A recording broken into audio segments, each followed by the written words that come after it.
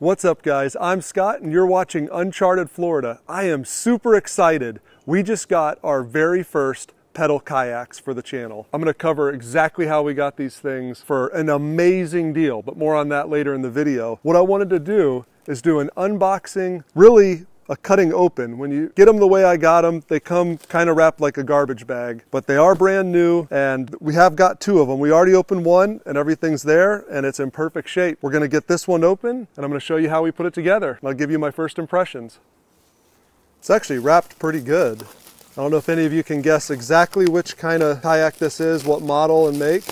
You're about to see.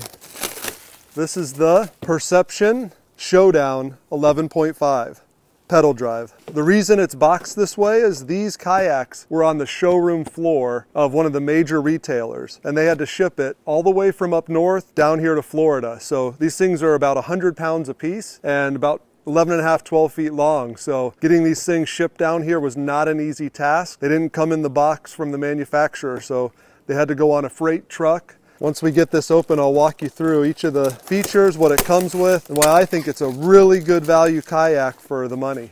This is pretty cool here. There's a fish logo right on the side and it's molded in. Really nice attention to details. As I mentioned, this is the pedal drive kayak. So you can see it's got a huge blade on it. This thing must be 12, 14 inches in diameter. We're gonna get this out on the water and we'll do a little speed test and see how that goes, but real high quality. It's beefy, it's heavy. It's not so heavy that it's a chore to move around. And actually compared to some of the other pedal drives, all you have here for bracketry is this little piece here. And the way this works is you take this pin out right here.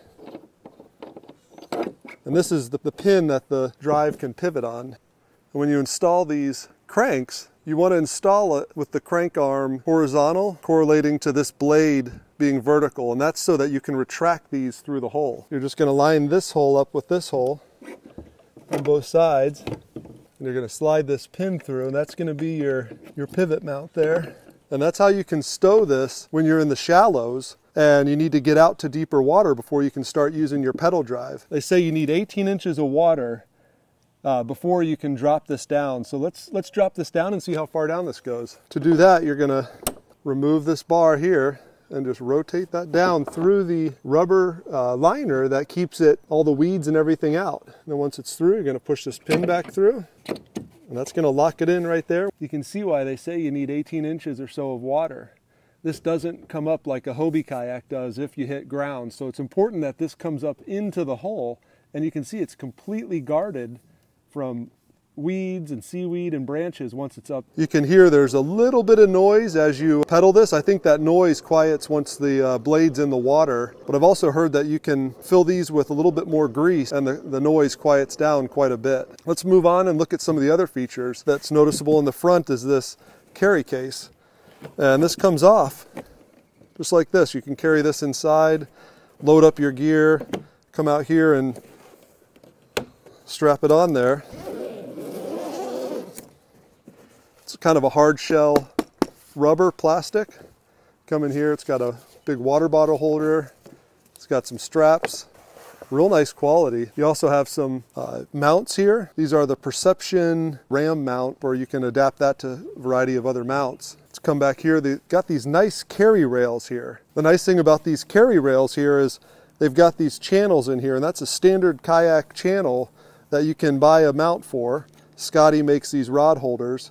And they also make a mount that comes down in here and it slides, it's a little T-nut that goes down into here and an adapter that these slide into. So you can have some rod holders right in front of you. That's if you need extra rod holders. This one comes with not two, but four rod holders right here molded in. So you can fit two rods on each side of the kayak. These are very comfortable seats. So this is a Kind of got the webbing style fabric. Water can just go straight through that. So as you get back in the kayak, it can just drip through. You're not going to be sitting in a wet seat all day. It's got the nice Perception logo. And the way this works is this seat base mounts on these orange rails down here with, with T-bolts and, and nuts.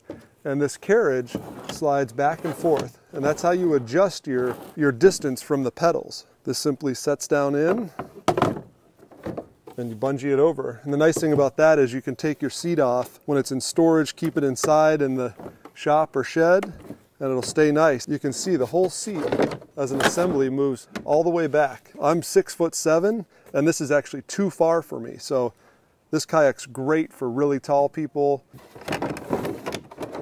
You can get right up next to the pedals. This junk drawer fits over here, kind of snaps down if you want to set your phone here and then slide it under the chair. One of the other nice features are these catch-alls here. This actually fits one of the uh, Plano 3600 boxes, fits right down here and you can get some bungees to hold that. This is your steering. This is what controls the rudder. So you sit here and you just move it left and right and that's gonna take your kayak back and forth. Coming back here, we have a huge, huge stern well here with nice bungees that you can open up. You can put a cooler in there. You fit just about, you, I mean, you could fit another passenger back here. We might put the kids back here and just let them ride along with us. This right here is your rudder. It's huge. Look at this thing. This bolts to the back and this is what attaches to that, that lever up here. All of the rigging is through the body of the hull. There's nothing on the outside to get snagged. It's got a rigging up to a uh, pole lever here that it lifts your rudder right out of the water. As you get out to your spot, you pull the other handle and it drops that rudder right down. We are real excited to use this feature right here.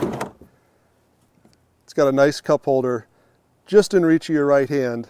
So we're gonna bring out our favorite beverage and uh, stay hydrated as we're doing some fishing. You'll notice all throughout this kayak, they've got these drain holes and uh, you can see they've got channels. They've really thought out how that water is gonna flow as you get water over the side. So it'll come down here, drain.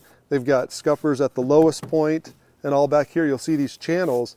Those all lead straight into those drain holes. So you're not gonna hold water here. It's gonna constantly be shedding water. It's also got a nice port here if you need to re-rig any of these steering cables or swap them out. This is a really cool feature down here.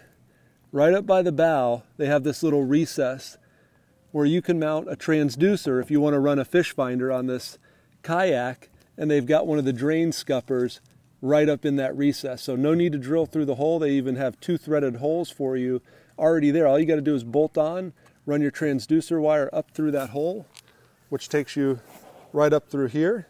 And the idea is that you'd then run that wire over and use one of these ram mounts and you could mount your, your fish finder right here and you didn't have to drill a single hole in the kayak at all.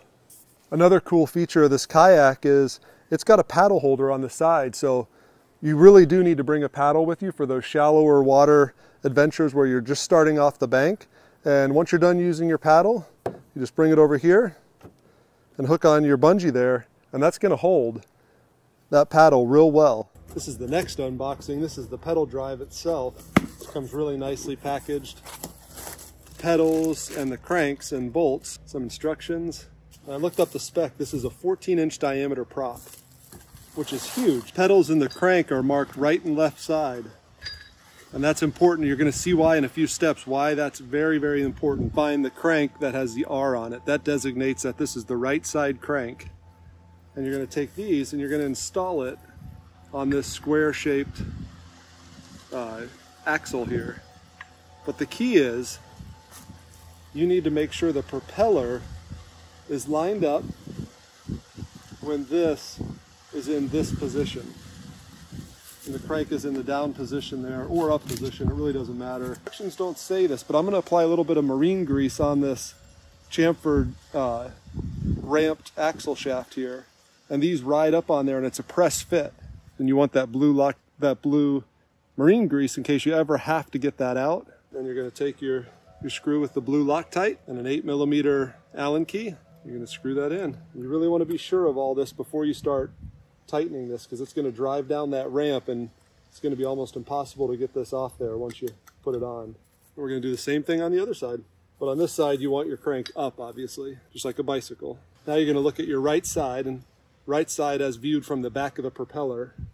So this is your right crank and right side pedal, and it's going to be a standard right hand thread into that right side. On the left side, it's a left-hand thread. And what that means is, so you're turning it counterclockwise, is it keeps this pedal from loosening up the natural motion of pedaling. If it were a right side thread, this would naturally try to unthread itself. Then we're gonna take our 15 millimeter and just snug it down. And you're done. We're gonna install the rudder system. Comes with this bracket that this shaft of the rudder rides between. We've got to attach it. So this kit didn't come with the hardware. So what I'm doing is stacking up some washers, flat washer, and then a lock washer above it. So we don't have stainless on stainless galling is, is spray it with Corrosion X. And these inserts are just in plastic. So we're just gonna snug them down. You really don't want to over tighten those. Slide that down in here. Maybe I'll hit this with some Corrosion X too. You put on your cotter pin. And these are your steering cable attachments. These you just take off the cotter pin and the rubber washer and attach it attach it to the bracket over here. These come pre-adjusted, so you're really just setting setting it up for the first time. But you can adjust these if you want to snug up the center point or it becomes off center. And that's your that's your rudder install. Overall, we are really impressed with these kayaks. I just can't believe the deal that we got on these. Again, we got these kayaks for less than $1,000 a piece. What a great deal. And you might be wondering, how did we do that? A couple ways. One, these kayaks were on clearance at a big box store. And they were less than $1,000 a piece. And once we got these kayaks in, we realized why. And that's because of this gouge that happened under the kayak. Now to us, that gouge is no big deal. If we need to fix that, we'll fix that. It's not all the way through, and even if it were, we can repair that with some epoxy, no problem. And at the end of the day, we're gonna have two great kayaks. So moral of the story, decide, are you willing to deal with something not being exactly perfect? And in a lot of cases, that's why they put things on clearance. But a pedal drive kayak, both combined for less than the price of one single MSRP, we'll take that every time. I hope you enjoyed this walkthrough and unboxing. The next time you see this, it's going to be out on the water and we'll give you our first impressions. I'll see you there.